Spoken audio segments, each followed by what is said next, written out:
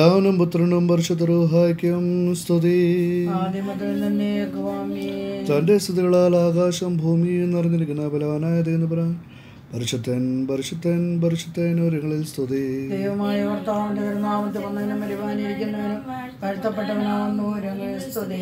ദൈവമേ നീ പരിശുദ്ധനാകുന്നു.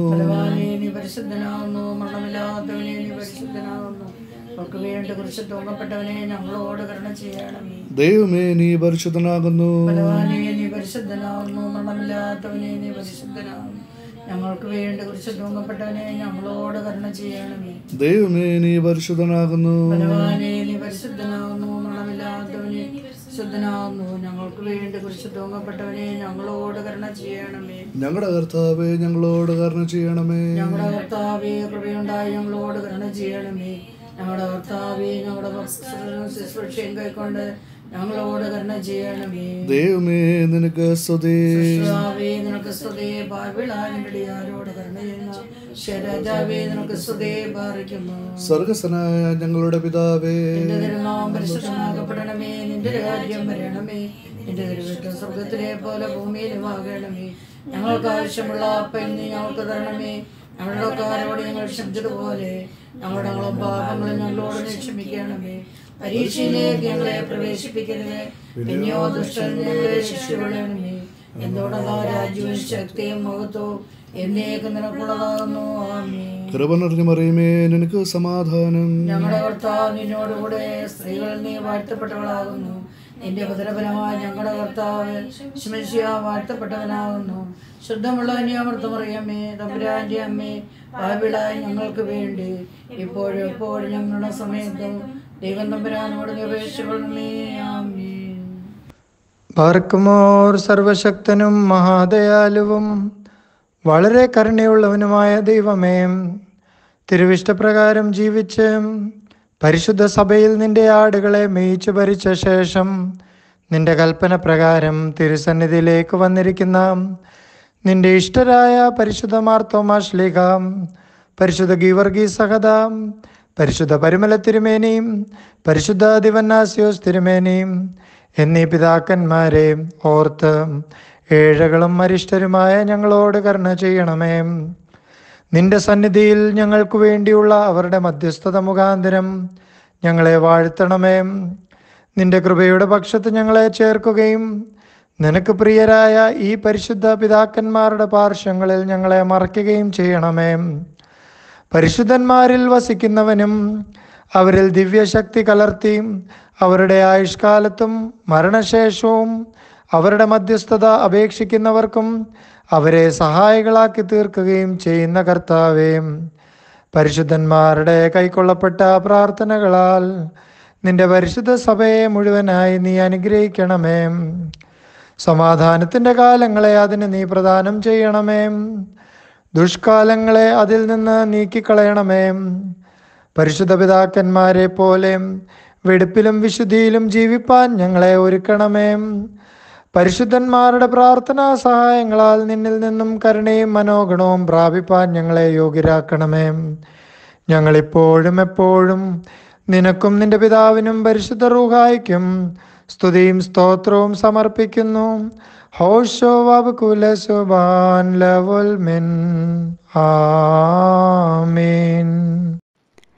Glory be to the throne Amin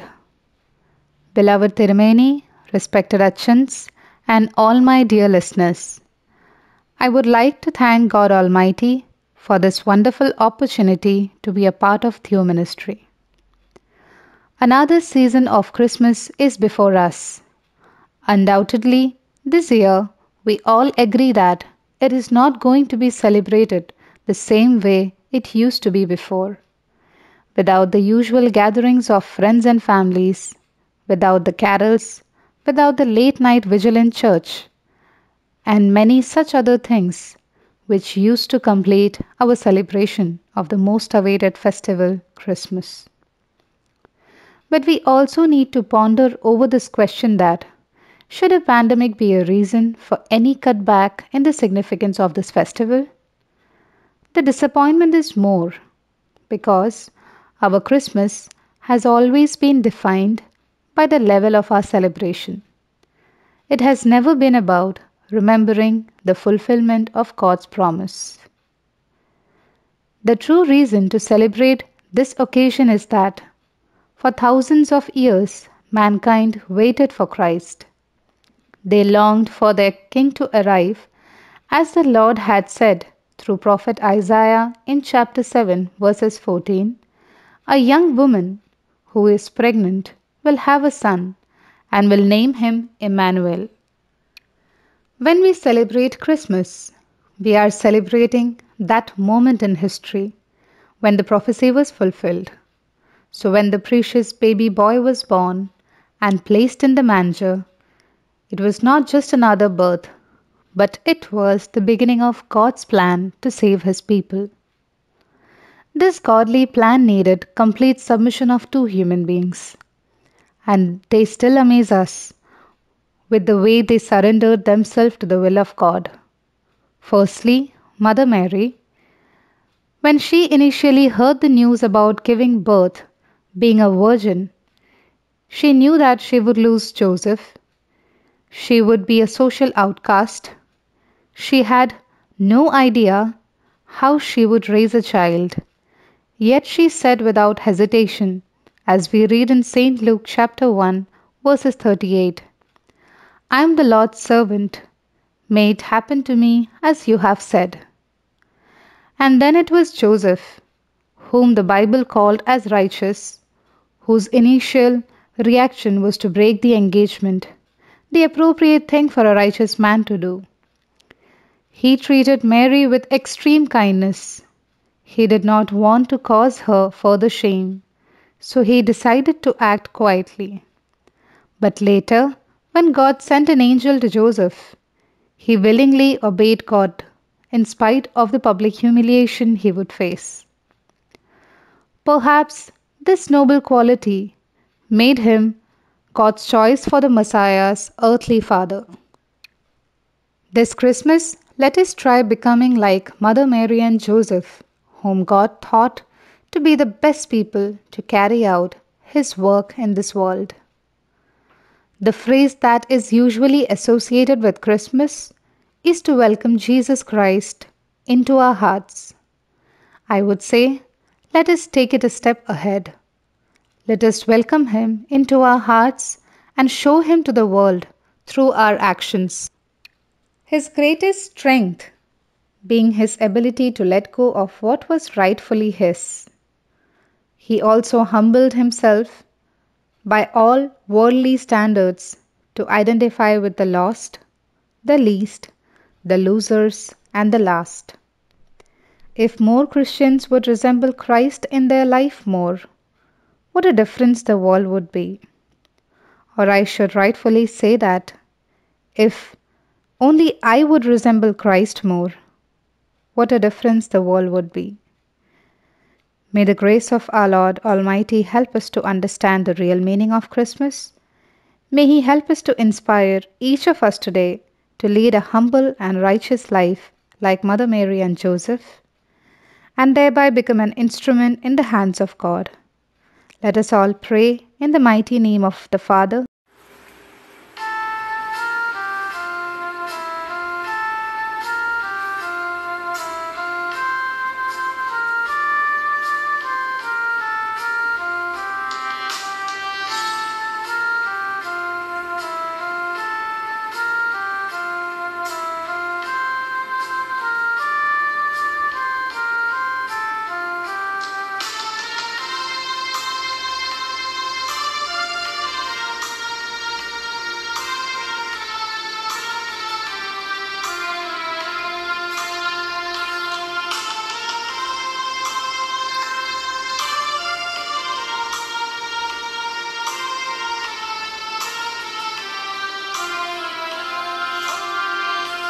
Save.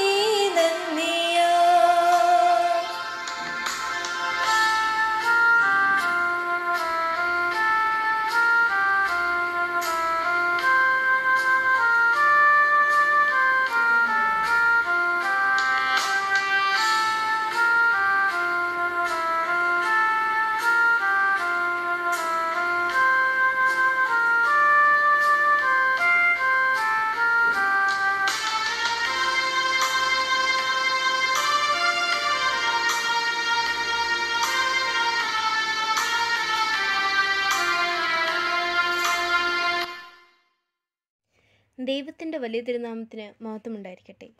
ആദ്യം തന്നെ ഈ പ്രാർത്ഥന കൂട്ടായ്മയിലുള്ള എല്ലാവർക്കും ഹൃദയത്തിൽ നിന്നും എന്റെ ക്രിസ്മസ് ആശംസകൾ. രണ്ടാമതായി ഇന്ന് ഈ രാത്രിയിൽ ഇവിടെ ദൈവവചനം പറയാൻ എനിക്കൊരു അവസരം ഒരുക്കി തന്ന എന്റെ പള്ളിയിലെ എൻ ജോസഫിനും തിയോ മിനിസ്ട്രിക്കും അതിനായിട്ട് വേണ്ടി പ്രവർത്തിക്കുന്നവർക്കും എല്ലാവർക്കും എന്റെ നന്ദി.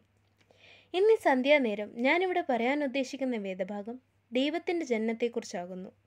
കഴിഞ്ഞ ഒരു ക്രിസ്മസ് ആഴ്ച മുഴുവൻ നമ്മളിൽ കുറേ പേര് ഈ വേദഭാഗത്തിൽ നിന്നും തന്നെ സുവിശേഷം പറഞ്ഞിട്ടുണ്ട്. പക്ഷേ ഇതിൽ നമ്മളെല്ലാവരും മനസ്സിലാക്കാഞ്ഞ് അഥവാ കണ്ടിട്ടും ശ്രദ്ധിക്കാത്ത ചില ചെറിയ വിഷയങ്ങളാണ് ഞാനിവിടെ പറയാൻ ഉദ്ദേശിക്കുന്നത്. വിശുദ്ധ ലൂക്കോസ് എഴുതിയ സുവിശേഷത്തിൽ നിന്നും രണ്ടാം അധ്യായം മുതലാണ് നമ്മൾ യേശുവിന്റെ ജനനത്തെക്കുറിച്ച് വായിക്കുന്നത്. എന്നെക്കാട്ടിൽ നന്നായിട്ട് ഇവിടെ എല്ലാവർക്കും ഈ കഥ അറിയാവുന്നതുകൊണ്ട് പ്രധാനമുള്ള ചില ഭാഗങ്ങൾ മാത്രം ഞാൻ എടുത്തു പറയാം. ഏറ്റവും ആദ്യത്തെ വാക്യമെന്ന് വെച്ചാൽ എന്താണ് പരിശുദ്ധമായ ദൈവം തന്റെ സ്വന്തം മകനെ ഭൂമിയിലേക്ക് അയക്കാനുള്ള കാരണം? ഈ ചോദ്യം നമ്മൾ ചോദിക്കുമ്പോൾ അച്ഛന്മാരാണേലും തിരുമേനിയാണേലും അവരൊരു ഉത്തരം പറയുന്നത് വിശുദ്ധ യോഹന്നാന്റെ സുവിശേഷം മൂന്നാം അധ്യായം പതിനേഴാം വാക്യം. ദൈവം തന്റെ പുത്രനെ ലോകത്തയച്ചത് ലോകത്തെ വെതിപ്പാനല്ല ലോകം അവനാൽ രക്ഷിക്കപ്പെടുവാനത്രേ. Saint John chapter three verse seventeen. For God did not send his Son into the world to be its judge, but to be its savior. ഈ വചനത്തിൽ നമുക്ക് കാണാൻ പറ്റുന്നത് ദൈവം തന്നെ അറിഞ്ഞിരുന്നു തന്റെ സാദൃശ്യത്തിൽ സൃഷ്ടിച്ച മനുഷ്യന്റെ ഏറ്റവും വലിയ ആവശ്യം ഒരു രക്ഷകനാകുന്നു എന്ന് അവരെ തന്റെ പാപത്തിൽ നിന്നും പേടിയിൽ നിന്നും രക്ഷിക്കാൻ അവർക്ക് ഒരു രക്ഷകന്റെ ആവശ്യമുണ്ടായിരുന്നു. ഈ പേടി എന്ന് പറയുമ്പോൾ എല്ലാവരും പുറത്തുനിന്ന് എന്തുവാ പറയുന്നേ? എനിക്കൊരു പേടിയില്ലല്ലോ ഞാൻ ഭയങ്കര സ്ട്രോങ് ആണ് എനിക്ക് ധൈര്യമുണ്ട്. പക്ഷെ അകത്തുനിന്ന് നോക്കിയാലോ നമ്മളെല്ലാവരും ഭയങ്കര പേടിയുള്ളവരാ. ഇപ്പോൾ ഈ അവസ്ഥയുടെ തന്നെ ഏറ്റവും വലിയ എക്സാമ്പിൾ എടുക്കുവാണെങ്കിൽ ഇപ്പോഴത്തെ ഈ സമയത്ത് ആർക്കെങ്കിലും ഒരിച്ചിരി ജലദോഷമോ തലവേദനയോ തുമ്മലോ വല്ലതും വന്നാൽ ഏറ്റവും ആദ്യം മനസ്സിൽ വരുന്ന ചോദ്യം എന്തുവാ? എന്റെ കർത്താവേ കോവിഡ് അല്ലല്ലോ എന്ന് അപ്പം ഇനി ഇതിന്റെ ടെസ്റ്റ് റിസൾട്ട് വരുന്നവരെ നമ്മളാരും സമാധാനത്തോടെ ഇരിക്കത്തില്ല. അത്രയും നേരം പിന്നെ എല്ലാവരും നേർച്ചയായിരിക്കും. ഒറ്റയടിക്ക് മാതാവിനോടും പരമല തിരുമേനിയോടും സഹതായോടും കർത്താവിനോടും നാലു പേരോടും ഒരുമിച്ചായിരിക്കും പ്രാർത്ഥിക്കുന്നത്. ഇതിന്റെ ഒക്കെ കാരണം എന്തുവാ? നമ്മുടെ മനസ്സിലുള്ള പേടി. ഒക്കെ ഇതൊക്കെ ആദ്യമേ കണ്ട് ദൈവം പറയുന്നുണ്ട് മനുഷ്യനെ മനുഷ്യന്റെ തന്നെ പേടിയും തെറ്റുകളും പാപത്തിൽ നിന്നും ഒക്കെ രക്ഷിച്ച് ശരിയായ വഴി കാണിച്ചു തരാൻ വേണ്ടിയാണ് തന്റെ മകനെ ലോകത്തേക്ക് അയക്കുന്നത്. അപ്പം നമുക്ക് നമ്മുടെ തന്നെ പേടിയിലോ നമ്മൾ ചെയ്യുന്ന തെറ്റിതിലോ ഒന്നും കൺട്രോൾ ഇല്ല. നമ്മൾ എന്തുവാ ചെയ്യുന്നതെന്ന് നമ്മൾ തന്നെ കുറച്ച് കഴിഞ്ഞിട്ട് റെക്കഗ്നൈസ് ചെയ്യത്തില്ല. പിന്നെ രണ്ടാമതായിട്ട് ഈ വേദഭാഗത്തിൽ തന്നെ എടുത്തു പറയാനുള്ളതെന്ന് വെച്ചാൽ നിറവേറോടുകൂടി നടക്കുന്ന മറിയാവും ജോസഫും സഹായം തേടി ആൾക്കാരുടെ വാതിൽ അന്ന് രാത്രിയിൽ ബെദ്ലഹേമിൽ കൊട്ടുന്നതാണ്. രാത്രികാലം തണുപ്പിന്റെ സമയം നിറവേറോടുകൂടി സഹായം തേടുന്ന ഒരു ദമ്പതി. അപ്പോൾ ഇവിടെ നമ്മൾ കാണുന്ന എന്തുവാ? ആ ദമ്പതികളുടെ മുഖത്ത് വാതിൽ കൊട്ടി അടയ്ക്കുന്ന ആൾക്കാരാ. ഇവിടെ സ്ഥലമില്ല ഇവിടുന്ന് പോകുമെന്നും പറഞ്ഞ്. അവരറിയുന്നില്ല ഇത് ലോകത്തിന്റെ രക്ഷകനും രക്ഷകന്റെ മാതാവിന്റെ മുഖത്ത് അവർ ലോ അവർ ഈ കഥവ് കൊട്ടി അടയ്ക്കുന്നതെന്ന്. എന്ന് ഒരു വേദന അനുഭവിക്കുന്ന നിറവേറോടോ മാതാവ് നിൽക്കുന്ന വേദന അനുഭവിക്കുന്ന ഒരു സ്ത്രീയോട് കാണിക്കുന്ന മനുഷ്യത്വം പോലും അവിടെ ആരും കാണിച്ചിട്ടില്ല. ഇത് ഞാൻ എടുത്തു പറയാനുള്ള കാരണമെന്ന് വെച്ചാൽ ഇന്നത്തെ ഈ കാലത്ത് നമ്മളെല്ലാവരും ആ വാതിൽ കൊട്ടി അടച്ച മനുഷ്യരുടെ കൂട്ട. ഇത് ഞാൻ പറയുമ്പോൾ കുറേ പേര് പറയും അല്ല ഞാൻ സഹായിക്കാറുണ്ട് അത് ചെയ്യാറുണ്ട് ഇത് ചെയ്യാർ അല്ല നമ്മളെല്ലാവരും നമ്മുടെ മനസ്സിലൊന്ന് നോക്കിയാൽ നമുക്ക് മനസ്സിലാവും അതേ മനുഷ്യരുടെ കൂട്ടാണ് നമ്മൾ. ഇന്നത്തെ ഈ സമയത്ത് എത്ര ആൾക്കാർ വരുന്നുണ്ട് നമ്മളോട് സഹായം ചോദിക്കാൻ? അത് ഏത് രൂപത്തിൽ വേണമല്ലോ എല്ലാം കാശിന്റെ രൂപത്തിലാവണമെന്നില്ല. ഏത് അവർക്ക് ചിലപ്പോൾ പ്രയാസങ്ങൾ കേൾക്കാൻ ഒരു സഹോദരന്റെ ഒരു സഹോദരിയുടെ രൂപത്താവും അല്ലെ വേറെ എന്തെങ്കിലും പ്രയാസമായിരിക്കും. പക്ഷെ നമ്മളത് ഒന്നും ശ്രമിക്കത്ത് പോലും ഇല്ല. നമ്മൾ അവരുടെ മുമ്പിൽ നമ്മുടെ വീടിന്റെ മാത്രമല്ല നമ്മുടെ മനസ്സിന്റെ വാതിലുകൾ കൊട്ടി അടയ്ക്കുകയാണ്. നമ്മൾ എന്തേലും കാരണം പറയും ഓ ഇപ്പം സമയമില്ല അല്ലെങ്കിൽ വേറെ എന്തെങ്കിലും പറയും അച്ഛന് ജോലി ഇല്ലാതിരിക്കുക കാശില്ല. നമ്മൾ ശ്രമിക്കത്ത് പോലും ഇല്ല. അപ്പം ഇവിടെ എന്തുവാ നമ്മൾ കാണുന്നത് നമ്മൾ നമ്മുടെ തന്നെ ഒരു സെൽഫിഷ്നെസ് അഥവാ ഒരു സ്വാർത്ഥതയിലാണ് വളരുന്നത്. ഇങ്ങനെ വളരുമ്പോൾ നമ്മൾ ശ്രദ്ധിക്കാതെ പോകുന്ന ഒരു കാര്യമുണ്ട്. നമ്മുടെ ചുറ്റുമുള്ള വളർന്നു വരുന്ന തലമുറ ഇത് കാണുന്നുണ്ട്. നമ്മളത് ശ്രദ്ധിക്കാറില്ല പക്ഷെ അവരത് ശ്രദ്ധിക്കുന്നുണ്ട്. ഇങ്ങനെ തന്നെ വളരണം മനുഷ്യത്വമില്ലാതെ വളരണം. നമ്മളിപ്പോൾ എന്തോ വിചാരിക്കുന്നേ? ഇതൊക്കെ ഇപ്പോൾ ചെയ്തില്ലേലും പത്ത് രൂപ കൂടുതൽ അടുത്ത ആഴ്ച സൂത്രാഴ്ച ഇട്ടാൽ കർത്താവ് ക്ഷമിച്ചോളൂ എന്ന്. ഇല്ല ക്ഷമിക്കത്തില്ല. അതൊക്കെ ഇപ്പം ദൈവം കാണുന്നുണ്ടോ ഇല്ലയോ അത് നമുക്ക് അറിയാൻ പറ്റത്തില്ല. പക്ഷേ ഈ ചുറ്റുമുള്ള വളർന്നു വരുന്ന മക്കൾ ഇത് കാണുന്നുണ്ട്. അവർ നാളെ ഒരു കാലത്ത് ഇങ്ങനെ തന്നെ ചെയ്യും. കാരണം എന്തുവാ? അവരിപ്പോൾ കണ്ടുപഠിച്ചേക്കുന്നത് ഇങ്ങനെ. ആരെ സഹായം ചെയ്യേണ്ട ആവശ്യമില്ല. നമ്മൾ ആരെങ്കിലും സഹായം ചോദിച്ചാൽ നമ്മുടെ മനസ്സിൽ ഏറ്റവും ആദ്യം വരുന്ന ഒരു ചോദ്യമാണ് അത് അവരെ ഇപ്പോൾ സഹായിച്ചിട്ട് എനിക്ക് എന്നാ കിട്ടാനാ? ഞാൻ എന്നാ അതിന് ആവശ്യമില്ലാത്ത കുഴിച്ചെടുത്ത് വെക്കുന്നേ? അപ്പം ഈ വളർന്നു വരുന്ന തലമുറയും ഇത് തന്നെ പഠിക്കും. നമ്മളത് ശ്രദ്ധിച്ചില്ലേലും അവരത് ശ്രദ്ധിക്കും. പിന്നെ തുടർന്ന് വേദഭാഗത്തിൽ നമ്മൾ കാണുന്ന എന്തുവാ? കാലിത്തൊഴു കാലിത്തൊഴുത്തിൽ മാതാവ് യേശുക്രിസ്തുവിനെ ഒരു കീറത്തുണിയിൽ പുതപ്പിച്ച് ഇരുത്തിയേക്കുന്നതാണ് നമ്മൾ കാണുന്നത്. എന്ന് വെച്ചാൽ ലോകത്തിന്റെ തന്നെ രക്ഷകൻ സ്വർഗസ്ഥ പിതാവിന്റെ തന്നെ പുത്രൻ. വെറും ഒരു കീറത്തുണിയിൽ പുതച്ച് ഒരു തൊഴുത്തിലാണ് ഇരിക്കുന്നത്. അവിടെ എത്ര ലളിതമാണെന്ന് കണ്ടോ? എന്നാൽ ഇത്രയും വർഷം കഴിഞ്ഞിട്ട് നമ്മൾ നമ്മളെ തന്നെ ക്രിസ്ത്യാനി എന്ന് വിളിക്കുന്ന നമ്മളെങ്ങനെ ക്രിസ്മസ് ആഘോഷിക്കുന്നത് കുറേ ആവശ്യമില്ലാത്ത സാധനങ്ങളും അർത്ഥമില്ലാത്ത ഡെക്കറേഷൻസും കൊണ്ട് ആഡംബരം കാണിക്കാനുള്ള ഒരു കാരണം മാത്രമായി തീർന്നു നമുക്ക് ക്രിസ്മസ്. രണ്ടായിരം വർഷങ്ങൾ മുമ്പ് മാതാവ് സഹിച്ച ആ വേദനയും കാലിത്തൊഴുത്തിന്റെ പരിശുദ്ധിയും മാലാകമാരുടെ ആ സമാധാനവും ആട്ടിടയന്മാരുടെ ആ അനുസരണയും അതൊക്കെ ചേർന്നാണ് ക്രിസ്തുവിന്റെ ജന്മത്തെ കൊണ്ടാടിയത്. അല്ലാതെ ഈ മാർക്കറ്റിൽ നിന്നും റെഡിമെയ്ഡായിട്ട് മേടിച്ചുകൊണ്ട് വരുന്ന പുൽക്കുടിലും ക്രിസ്മസ് ട്രീയും കുറേ ബലൂൺസും പിന്നെ വൈൻ ഉണ്ടാക്കുമായിരിക്കും ബീഫിന്റെ സ്പെഷ്യൽ എന്തെങ്കിലും ഉണ്ടാക്കുമായിരിക്കും കേക്ക് ഉണ്ടായിരിക്കും. അതൊക്കെ വെറും ഡെക്കറേഷൻസാ അതുകൊണ്ട് നമ്മൾ യേശുവിന്റെ ജനനത്തെ ആഘോഷിക്കുമല്ല യേശുവിന്റെ ജനനത്തിന്റെ അർത്ഥം വേറെ. അത് പ്രാർത്ഥനയും നോമ്പും പരിശുദ്ധിയും കൊണ്ടുണ്ടാവുന്നതാണ് യേശുവിന്റെ ജനനം. അല്ലാതെ വെറും ഒരു ഹോളിഡേ സെലിബ്രേഷൻ പോലെയല്ല ക്രിസ്മസ് ആഘോഷിക്കുന്നത്. ഇന്ന് കോവിഡ് കാലത്തിൽ നമ്മളെല്ലാവരും നമ്മുടെ തന്നെ വീട്ടിൽ പെട്ടിരിക്കുമല്ലയോ ഒന്ന് പള്ളിയിൽ പോകാനോ കുർബാന കഴിക്കാനോ ഒന്നിനും പറ്റത്തില്ല. എന്നിട്ട് ഇപ്പം എല്ലാവരും എന്തോ വിചാരിച്ച ഡിസംബർ ആയപ്പോഴത്തേക്കിനും തീർന്നു വാക്സിനൊക്കെ കണ്ടുപിടിച്ചു എല്ലാ സക്സസ് ആയി. അപ്പോഴത്തേക്കിനും വേറെ വേറെ രാജ്യത്തിൽ പുതിയ പുതിയ ഇതിനെക്കാട്ടി വലിയ സ്ട്രോങ് ആയിട്ടുള്ള വൈറസ് കണ്ടുപിടിക്കുക അപ്പോഴും ഇത്രയും വലിയ തീരാവ്യാധിയിൽ നിന്നും നമ്മളൊക്കെ സേഫായിട്ടുണ്ട് നമ്മുടെ കുടുംബക്കാരുടെ കൂടെ ഉണ്ട് ചിരിച്ച് പ്രാർത്ഥിച്ച് നമുക്ക് നിൽക്കാൻ പറ്റുന്നുണ്ടെങ്കിൽ ആ വലിയ തമ്പുരാന്റെ കരം നമ്മുടെ മേൽ ഉള്ളതുകൊണ്ടാണ് ആ സ്നേഹം നമ്മൾ പ്രാർത്ഥിക്കുന്ന എല്ലാ ദൈവം കേട്ട് നമ്മളെ അനുഗ്രഹിക്കുന്നത് കൊണ്ടാണ് നമുക്കിതൊക്കെ കാണാൻ പറ്റുന്നത്. അപ്പോൾ ഈ പുതുവത്സരത്തിൽ എനിക്ക് എല്ലാവരോടും ഒന്നേ പറയാനുള്ളൂ. നമുക്കെല്ലാവർക്കും നമ്മുടെ മനസ്സിലും ചിന്തയിലും ഉള്ള ദുഷ്പ്രവൃത്തിയും അഹങ്കാരവും ആഡംബരവും ഒക്കെ മാറ്റിവെച്ച് ദൈവവചനത്തെ തന്നെ പഠിച്ച് പ്രാർത്ഥിച്ച് സുരക്ഷിതവും ലളിതവുമായ ഒരു ജീവിതം ജീവിക്കാൻ ക്രിസ്തുവേശു നാം എല്ലാവരെയും അനുഗ്രഹിക്കട്ടെ എന്ന് പ്രാർത്ഥിച്ചുകൊണ്ട് ഞാൻ എന്റെ വാക്കുകൾ ചുരുക്കുന്നു. Wish you all a very merry Christmas and happy new year most heavenly loving Father, we submit each one unto your holy presence. Thank you, Lord, for providing us with one more session of Theo ministry today. Christ Jesus, as we journey through this Advent season, help us, Lord, to share the love, joy, and peace with one and all around us. Lead us to forgive others, Lord, as you have forgiven us. Protect each one of us under your most holy wings and shelter us all. Lord, all of us are under fear and trouble due to the widespread of the corona pandemic as each day passes by.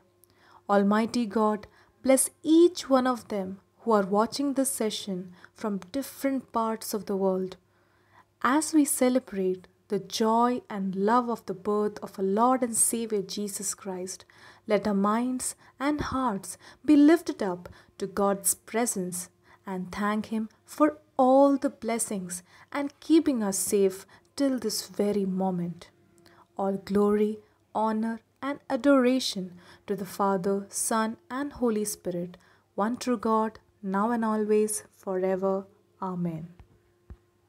പിതാവാം ദൈവത്തിൻ്റെ സ്നേഹവും ഏജാതനായ പുത്രൻ്റെ കൃപയും പരിശുദ്ധ റൂഹായുടെ സംബന്ധവും സഹവാസവും നിങ്ങളേവരുടെ മേലും സഭയുടെ മേലും സമൂഹത്തിൻ്റെ മേലും ദൈവസൃഷ്ടി മുഴുവനായും. പ്രത്യേകിച്ചും കൊറോണയുടെ ഭീകരമായിട്ടുള്ള പ്രയാസങ്ങൾ കൂടി കടന്നു പോകുന്ന എവരുടെ മേലും അവരെ സഹായിക്കുകയും തുണയ്ക്കുകയും ചെയ്യുന്ന എവരുടെ മേലും. ദൈവസന്നിധിയിലേക്ക് കൂടി ചേർക്കപ്പെട്ട് വാങ്ങിപ്പോടെ ആത്മാക്കളുടെ മേലും. ഇപ്പോഴും എല്ലായ്പ്പോഴും എന്നേക്കും ഉണ്ടായിരിക്കുമാറാകട്ടെ.